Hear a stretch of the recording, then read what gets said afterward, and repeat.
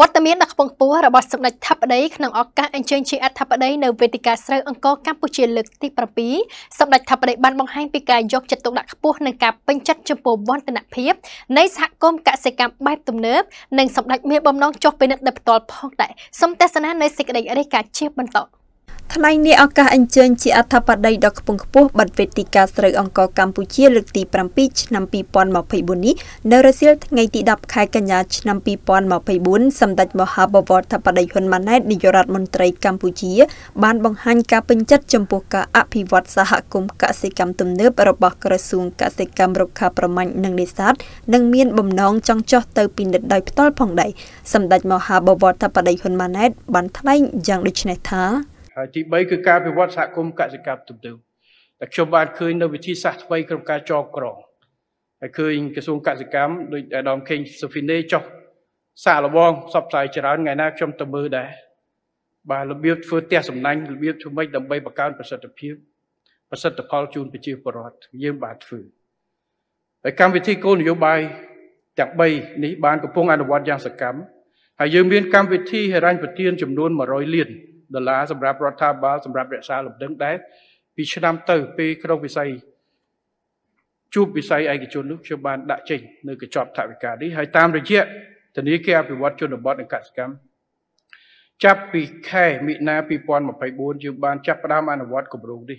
ហើយលើទំហំទឹកប្រាក់40លានដុល្លារហើយសម្រាប់គោលដៅបាន28លានដុល្លារនិងគម្រោងបន្ថែមហិរញ្ញប្បទានសម្រាប់រដូវប្រមូលផលត្រូវភាសានៅពេលខ្លីខាងមុខនេះដើម្បីជួយធ្វើយ៉ាងណា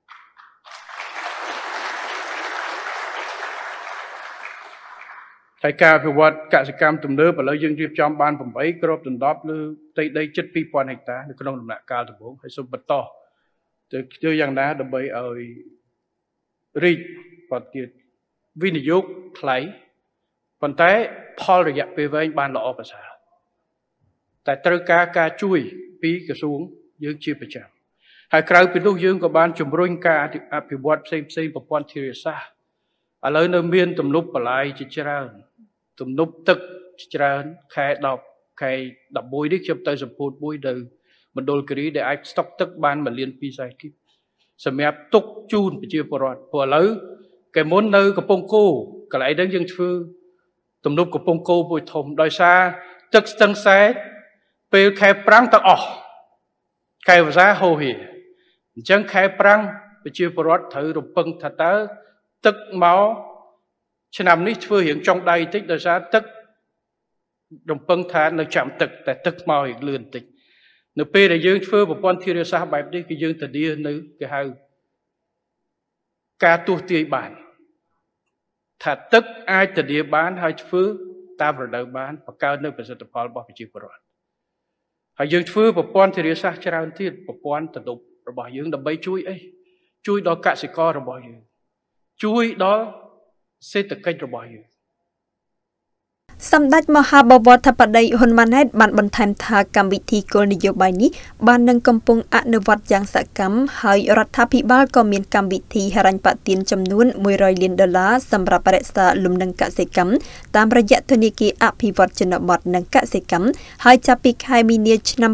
2024កន្លងនេះបានចាប់ផ្ដើមអនុវត្តគម្រោងនេះលើទំហំទឹកប្រាក់40លានដុល្លារនិងបានសម្រេចគោលដៅបាន28លានដុល្លារនិងគម្រោងបន្ថែមហិរញ្ញប្បទានសម្រាប់រដូវប្រមូលផលសម្រាប់ស្រូវវស្សានាពេលខាងមុខនេះផងដែរសម្ដេចមហាបវរធិបតីហ៊ុនម៉ាណែតបានបន្ថែមថាគិតមកដល់ពេលនេះការអភិវឌ្ឍសហគមន៍កសិកម្មបែបទំនើបបានអនុវត្តគ្របដណ្ដប់លើផ្ទៃដីជិត2000ហិកតានៅក្នុងដំណាក់កាលដំបូងនេះនិងសូមបន្តធ្វើយ៉ាងណាដើម្បីឲ្យរីកកាន់តែច្រើនបន្ថែមទៀតទោះបីការវិនិយោគថ្លៃតែដើម្បីឲ្យការទទួលផលក្នុងរយៈពេលវែងបានកាន់តែល្អប្រសើរសម្ដេចមហាបវរធិបតីហ៊ុនម៉ាណែតបានបញ្ជាក់ទៀតថាក្រៅពីនេះរាជរដ្ឋាភិបាលក៏បានជំរុញការអភិវឌ្ឍលើប្រព័ន្ធធារាសាស្ត្រតាមរយៈការរៀបចំទំនប់ប្រឡាយនិងទំនប់ទឹកជាច្រើនទៀតសម្ដេចបញ្ជាក់ថាក្នុងខែវិច្ឆិកាខាងមុខនេះសម្ដេចនឹងអញ្ជើញទៅសម្ពោធទំនប់ទឹកមួយកន្លែងនៅខេត្តមណ្ឌលគិរីដែលមានសមត្ថភាពអាចស្តុបទឹកទុកបានប្រមាណ1.2លានម៉ែត្រគីបសម្រាប់ទុកទឹកជូនប្រជាពលរដ្ឋប្រើប្រាស់និងមានការរៀបចំប្រព័ន្ធធារាសាស្ត្រជាច្រើនទៀតដើម្បីស្តុបទឹកទុកជួយដល់កសិករផងដែរ